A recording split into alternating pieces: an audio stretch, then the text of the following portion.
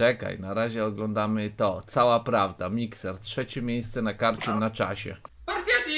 Yeah, boy!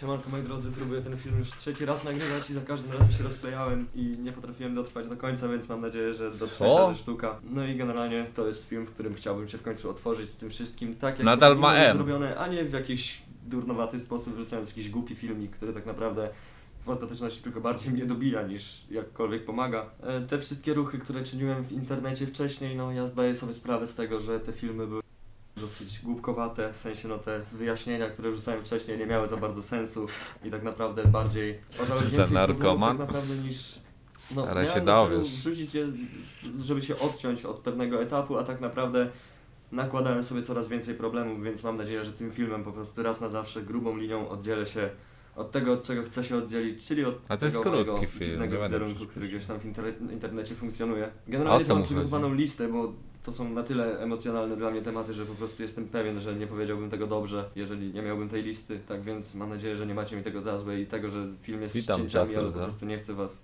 zostawiać w momentach, w których roję. Teraz w sumie zostawiłem, więc sorki. Dobra, więc przejdźmy po prostu do listy i enjoy. Cały czas próbowałem ubrać w ładne słowa to, co czuję, ale nie można tego opisać ładnymi słowami. I często jest tak, że On teraz mówi, czy co on robi? Musimy, znaczy nie musimy, ale to W sensie, czy czyta? to zostało A to, że mówi, to słyszę. Musimy po prostu udawać, że wszystko jest ok, żeby dalej wszystko było ok. No i niestety tak to nie wygląda i zrozumiałem to dopiero po czasie, kiedy od dłuższego Co? czasu byłem tak naprawdę więźniem własnego wizerunku i nie potrafiłem się otrząsnąć z niego. Często pytacie, czy chciałbym wrócić do ekipy i jak to się w ogóle stało, że odszedłem. Zacznijmy od początku. Do ekipy dołączyłem Wcale nie zrobił chyba 30 filmów ostatnich o tym, czemu odszedł od ekipy, czy coś takiego. Od kiedy odszedł od ekipy, tylko o tym mówi. Co to jest za film o cała prawda? Przecież o co się w dupę dzieje?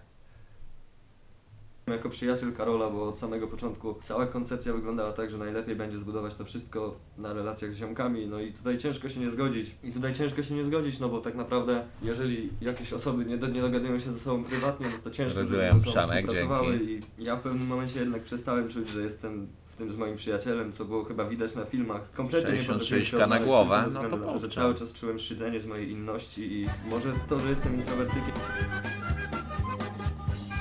Dziękuję, Amix! Zaraz powiem o tym przytulzanym, bo tam widzę, że niektórzy ten, bo pojedźmy to najpierw.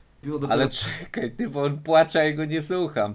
Daj sekundę, Często bo... pytacie, czy chciałbym wrócić do ekipy i jak to się w ogóle stało, że odszedłem. Zacznijmy od początku. Do ekipy dołączyłem jako przyjaciel Karola, bo od samego początku cała koncepcja wyglądała tak, że najlepiej będzie zbudować to wszystko na relacjach z ziomkami. No i tutaj ciężko się nie zgodzić. I tutaj ciężko się nie zgodzić, no bo tak naprawdę jeżeli jakieś osoby nie, nie dogadują się ze sobą prywatnie, no to ciężko, żeby ze sobą współpracowały i ja w pewnym momencie jednak przestałem czuć, że jestem tym z moim przyjacielem, co było chyba widać na filmach. Kompletnie nie potrafiłem się odnaleźć tylko ze względu na to, że cały czas czułem Waliłeś wiadro dzień w dzień. I może to, że jestem introwertykiem trochę koliduje z tym, żeby zostawać gwiazdą YouTube'a, ale Nie koliduje to, że jesteś introwertykiem, bo dużo youtuberów jest. Przecież to jest siedzenie w domu i gadanie do kamery, jakby to nie ma przełożenia do tego, jakbyś mówił do iluś tysięcy ludzi, albo kilkudziesięciu tysięcy nawet. Przecież. Tak mi się wydaje, to nie ma znaczenia. Pewnie ma problem jak w tym na przykład, że jak są jakieś całe eventy czy coś takiego, albo wychodzisz na miasto i nie chcesz, żeby cię ludzie rozpoznali czy coś, no to wtedy, ale jakby do samego tworzenia filmów nie ma znaczenia. Osobiście wolałbym usłyszeć, że po prostu się do tego nie nadaje i zostać wyrzucony niż przeżywać to, co przeżywałem. To odejście nastąpiło dopiero teraz tylko ze względu na to, że byłem z Martą i dalej wierzyłem w to, że Chodzi o to, jesteśmy w stanie a nie pamiętam jak ona się no nazywa. Ale najbardziej dobijające było jednak dla mnie to, że osoby trzecie ingerowały w mój związek, kiedy wpadłem w depresję i byłem niezdolny do życia. Czułem, że niektóre osoby za wszelką cenę chcą pokazać Marcie i udowodnić, że nie jestem najlepszym kandydatem na drugą połówkę. Może, może tak było w sumie, no bo jeżeli masz jakieś zaburzenia emocjonalne, no to tak naprawdę przebywając z innymi ludźmi tylko afektujesz ich ale nie wiem, nie wiem nawet jak to podsumować, po prostu mi przykro. Każdej osobie z projektu Ekipa mogę być za coś wdzięczny i tutaj, Rozumiem tutaj cię. muszę być wdzięczny na pewno najbardziej Łukaszowi, który tak naprawdę pokazał mi bardzo dużo zasad i wartości, z którymi warto funkcjonować, żeby w ogóle Nie, nie będę już grał Just Loser na streamie. okrutnym, influencerskim świecie. No tak to wygląda, słuchajcie moi drodzy, że ja generalnie wychowałem się bez ojca i nie miałem za bardzo osoby, która by mi to wszystko przekazała i dla mnie taką osobą był Łukasz po prostu, bo od niego się Ale co przekazać? I na pewno za to będę mu zawsze wdzięczny. Mam jednak również kilka wspomnień, które po prostu nie pozwalają mi wrócić, bo w pewnym momencie zrozumiałem, że kiedy plują ci w twarz, nie możesz udawać, że pada deszcz i ja czuję, że bardzo długo, naprawdę bardzo długo dawałem sobie pluć w twarz i tak naprawdę nie wiem, nie wiem nawet co mam powiedzieć, po prostu to jest idealne podsumowanie tego. Jeżeli plują ci w twarz, nie udawaj, że pada deszcz. Rok temu, kiedy przestałem występować na filmach, nie było wcale tak, że nie chciałem na nich występować, po prostu czułem się do tego niezdolny ze względu na moje zaburzenia emocjonalne. Każdym szukałem wrogiego nastawienia do mnie i żyłem w przeświadczeniu, że w ostateczności i tak jestem tam nikomu niepotrzebny. Po kilku słabszych tygodniach stwierdziłem, że chciałbym chociaż poinformować Dziękuję Arkamis. Pelcer dla widza z okazji rocznicy.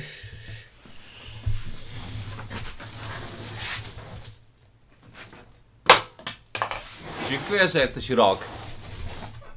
Karola o tym, że to nie tak, że nie chcę występować w filmach, tylko po prostu od pewnego czasu nie umiem tego robić. Jeżeli, jeżeli nigdy nie mieliście problemów z jakimiś zaburzeniami psychicznymi, no to ciężko, ciężko jest to wytłumaczyć, jak to wygląda, ale naprawdę nasz mózg potrafi robić dziwne rzeczy. Jeżeli już sobie zaczniecie coś wmawiać i wpada się w to błędne koło wmawiania sobie jakichś pojebanych rzeczy, to możecie skończyć naprawdę dziwnie. Więc to nie tak, że nie chciałem, po prostu nie umiałem.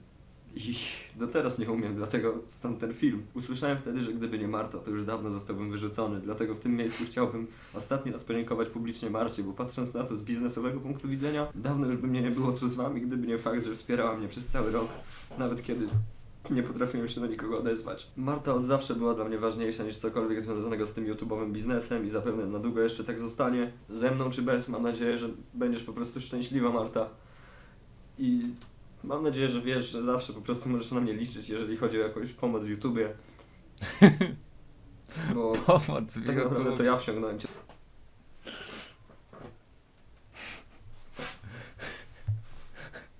Giga wyznania, pomoc w YouTubie.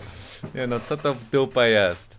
Do tego świata i nie wybaczyłbym sobie, gdyby coś ci się przez to właśnie stało, że, że w tym świecie się znalazłaś. Bardzo długo nie umiałem ubrać myśli w słowa i otworzyć się przed wami, ale nigdy nie czułem tak ogromnego zmęczenia YouTube'em. Nawet nigdy nie spodziewałem się, że coś takiego, że coś, co się tak bardzo kocha, może być jednocześnie tak bardzo niszczące. Wiele razy już deklarowałem, że będę wrzucał filmy i tak dalej, ale chyba w końcu zrozumiałem, że to dla mnie, że to nie dla mnie.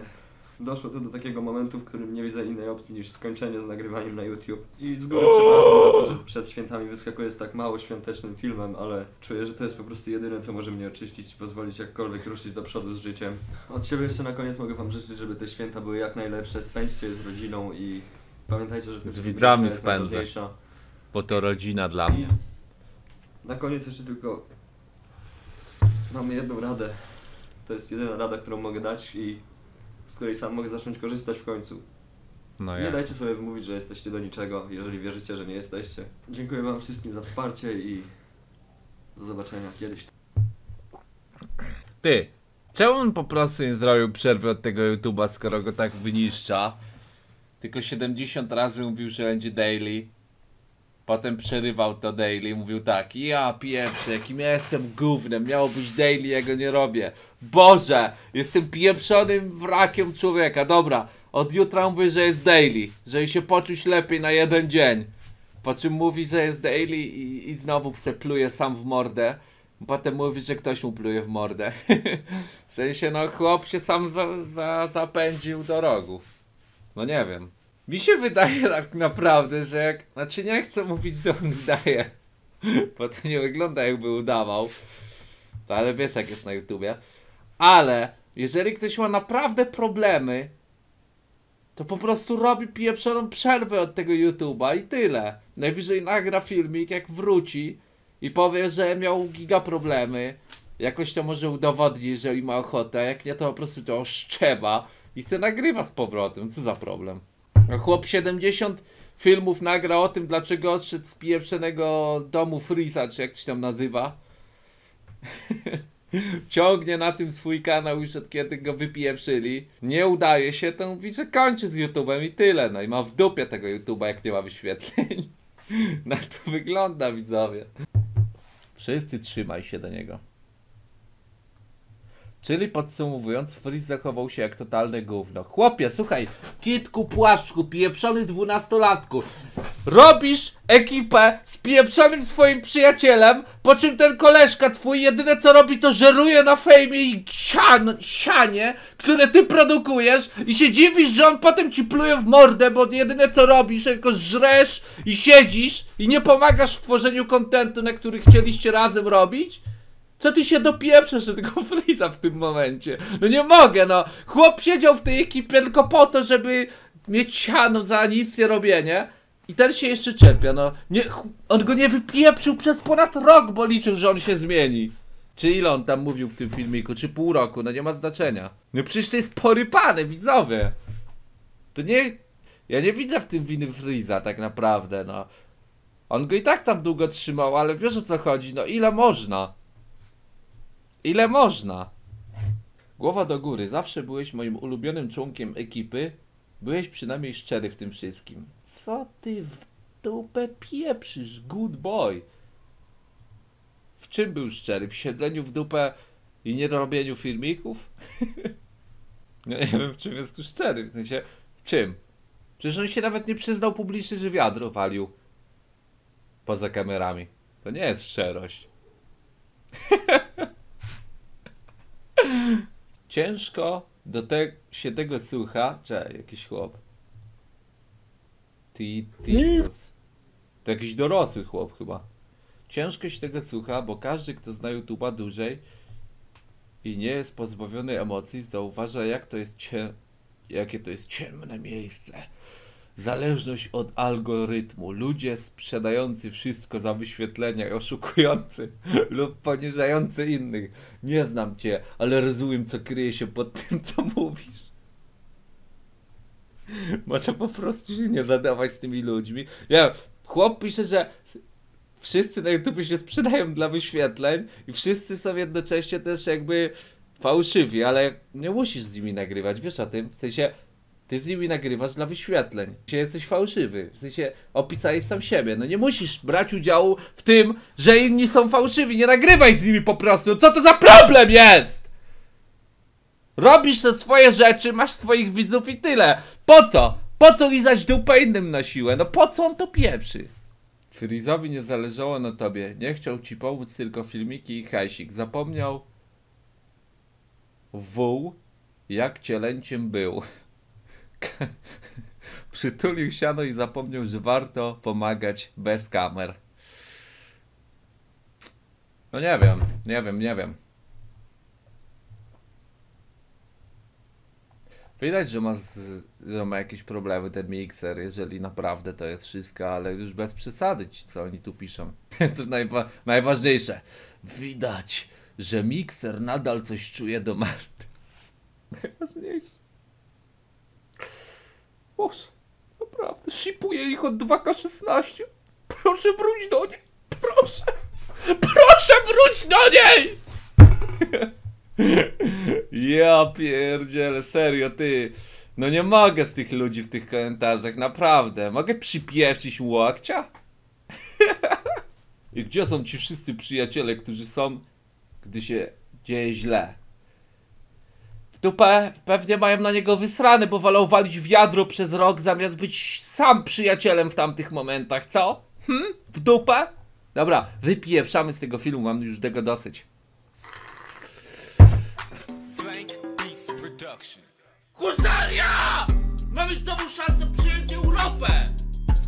Husaria! Brrr! Husaria! Mamy szansę! Yeah!